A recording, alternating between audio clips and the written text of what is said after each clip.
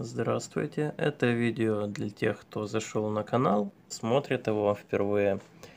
О чем канал? Канал в основном про миниатюру из спичек. Ну, там и дома, и, и прочую миниатюру. В общем, я из разных материалов делал. Э, также канал посвящен немножечко топорам, потому эта мебель лежит, стоит на топоре. Я, в общем, не сказать, что прям фанат топоров, хотя небольшая коллекция уже, так сказать, имеется, но она скорее имеет предназначение конкретно каждый топор для определенной работы. Но, в принципе, топоры мне нравятся. Также кидаю на канал всякие там лайфхаки, которые сам для себя открыл. Типа как заточить топор обычным точильным камнем. Или как открыть банку с помощью голых рук и мела. Закрутку, конечно же, имею в виду. Основной все-таки массив видео, связанный в первую очередь с миниатюрой, обучению миниатюре, инструментам, клеям, которые используются и упрощают создание миниатюры. В общем, насчет этого довольно много видео уже есть и еще буду снимать. Канал называется «Исторично жива миниатюра».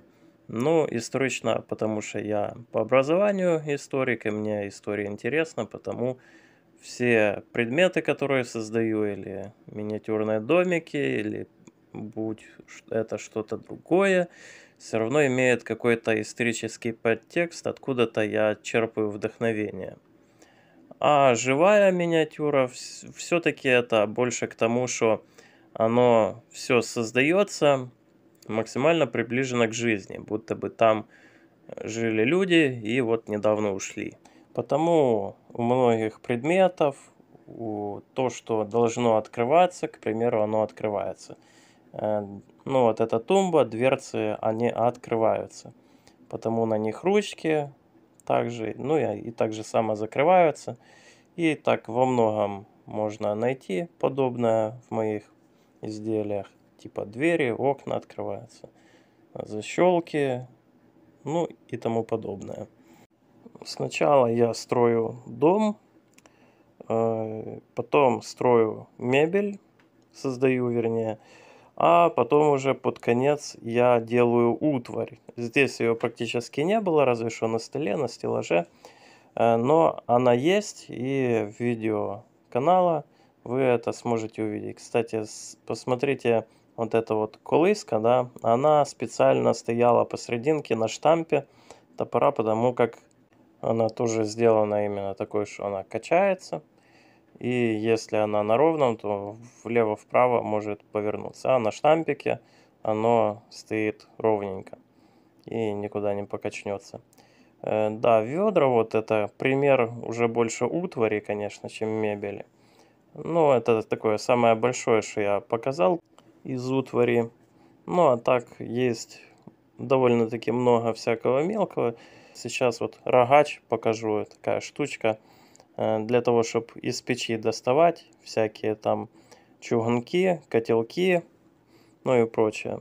Да, это просто вот пример утвари.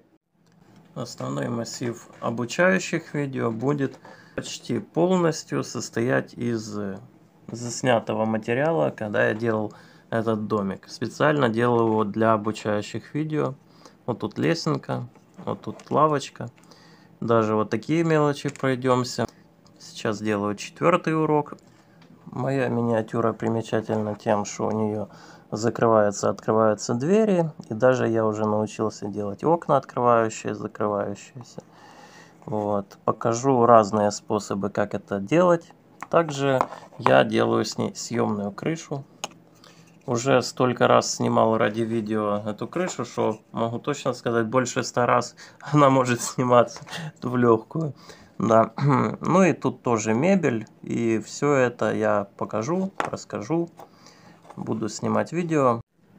Также неплохой пример, что такое живая миниатюра, э, историческая живая миниатюра, это вот этот вот домик. Опять же таки, я сейчас как раз делаю в нем крышу каркасную, все это сложно, долго. Э, но первый этаж там уже готов. И есть несколько видео по созданию вот этого первого этажа и вообще дома на данном этапе, до данного этапа, который сейчас есть. Вот. И там именно философия моя и строечные живые миниатюры хорошо отображена. В общем, кому нравятся топоры и миниатюра, можете найти тут для себя видео по вкусу. Если вам понравилось видео, можете поддержать канал подпиской и лайком.